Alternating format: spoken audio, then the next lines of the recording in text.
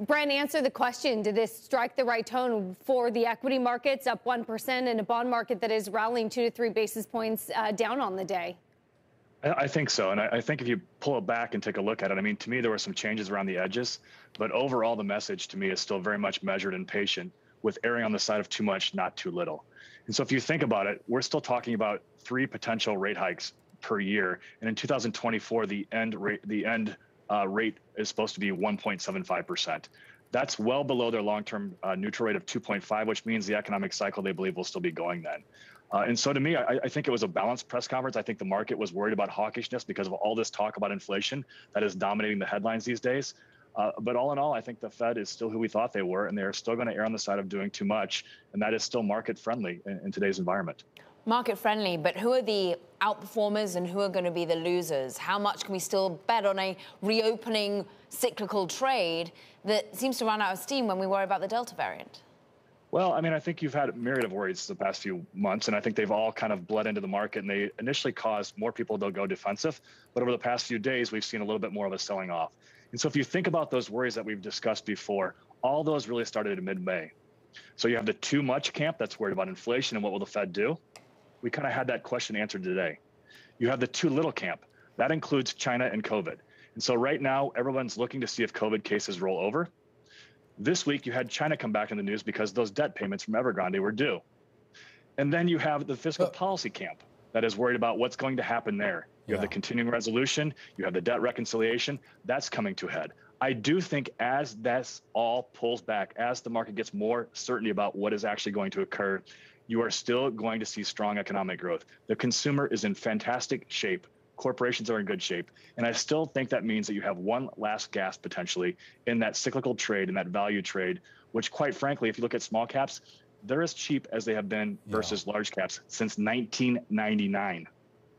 Yeah, and uh, obviously that's playing out at least on a daily basis here, of course, with the Russell uh, 2000 uh, outperforming Brent. Of course, a lot of people seeing maybe a potential reignitement of that cyclical trade. I guess the question here, Brent, is when does that fire actually start to burn out? Do we start to see that burn out once we get six, ten months out when that taper maybe potentially is at towards the end and a lot of people start thinking about rate hikes?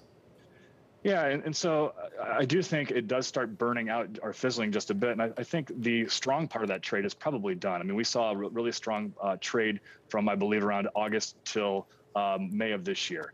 That was incredibly strong. That made up a lot of the ground, but there is still more to go. And I think it's been this uh, you want to own growth and defensive versus you want to own small cap or cyclicals. I think it's more of a balanced future as we get past this next, I think, bout of what I think small caps will outperform.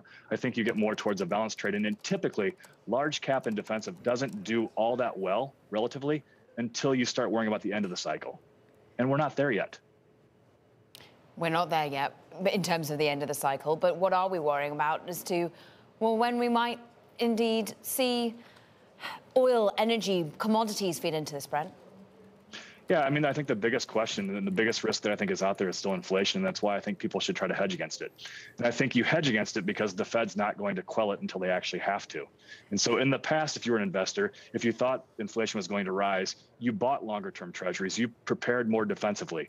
I think the Fed is showing you that they're willing to wait uh, until they actually have enough evidence that it's here and it's staying. And so that to me is still the biggest risk. I, am not suggesting there isn't a risk of a downside, but if you think about what has happened with the policymakers around the globe, they are trying to cover the downside risk. They're always and everywhere willing to do more. They will do that until there's a cost on their side. That cost has to be an interest rate spike, a dollar fall, or an inflation rise. And we're not there yet. Brian, can you tell us if the taper tantrum is behind us this time around, given how well choreographed it seems to be this time? Yeah, that was a that's a good question, and I don't know if I have the perfect answer. I think it is right now, as long as the inflation data shows that it comes back within. If it doesn't, then I think we have maybe we don't call it a taper tantrum. I don't know what we call it. Maybe yeah. it gets a new name in the, in the cycle. But I do think that's what people are waiting for. That's the one that's still outstanding. Right now, it seems to me as if they're one-time price hikes. Um, we'll see. I mean, I well, think uh, a prior guest on your show brought up uh, wages and, and the labor market. Will people come back? That's a big question that weighs into that inflation commentary. All right, I mean, just want to go back though. I mean, with regards to the taper tantrum and your previous response, Brent. I mean, you made a great point here about how the Fed may react, or at least how it will try to react to sort of keep a floor under things here. I guess, do we ever get to a point where the market does really try to test the Fed and throw that proverbial tantrum here? If that does happen here, what's the Fed's option? Good question. I mean, I mean, to me, uh, maybe they have to tighten at some point. That's the, the one thing that I think is maybe different in this cycle. I mean, I think I don't think we've had a 50 basis point increase in the federal funds rate since 2000 or something like that. Yeah. So it's been more patient and deliberate. Um, this cycle, to me, could end a lot. I still think it has room to run. I think there's still a productivity story that has to play out that keeps inflation at bay for a while after we get past this transitory inflation. Yeah. Uh, but the Federal Reserve used to try to moderate the business cycle. Mm-hmm. That stretched it out. Now they're saying we're going to wait until the end and be more reactive.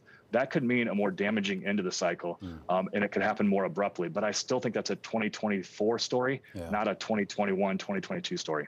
Still time to buy them, Brent Schutte.